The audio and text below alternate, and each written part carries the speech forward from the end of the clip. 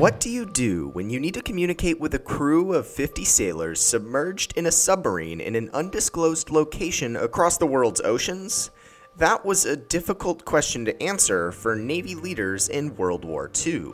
Radio waves don't easily travel through salt water, which meant that getting active communication with a submarine crew meant making the submarine's surface an antenna. This was an obvious solution, but it made a previously covert submarine now a visible target. Engineers tasked with finding a more covert solution soon discovered that radio waves with low frequencies, around 10 kilohertz, could penetrate saltwater to depths up to around 20 meters. They realized that if the transponders on submarines were switched to these frequency ranges, then they could communicate with leadership on land. The problem with this idea was creating and broadcasting these low frequency radio waves required massive antennas. Essentially, the lower the frequency of a radio wave, the longer and larger the antenna that is required. Engineers honed in on a range of frequencies lower than 30 kHz for submarine communication. The wavelength of these frequencies were roughly 10 kilometers or more, meaning that engineers would need massive antennas to create them. The only way to produce these frequencies with such high range was to use a massive system of antennas with massive amounts of power. Nazi engineers in World War II seeking to communicate with their fleet of U-boats designed the Goliath antenna network in Saxony and Anhalt, Germany.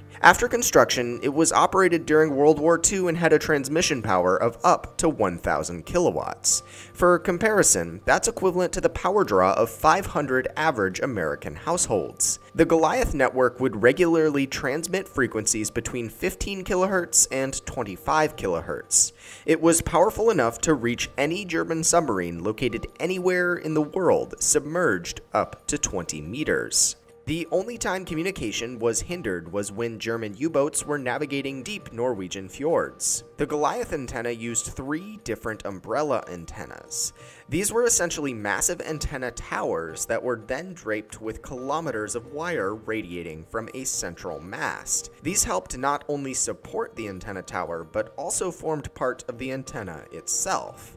In total, the system used three 210 meter or 688 foot masts arranged in a triangle. The system also had cables buried around it with a total length of 350 kilometers. Once it was completed, it had an impressive efficiency of 50% at 15 kilohertz and 90% at 60 kilohertz. This massive antenna site was undoubtedly a key strategic tool used by the German Navy in communicating with their U U-boat fleet.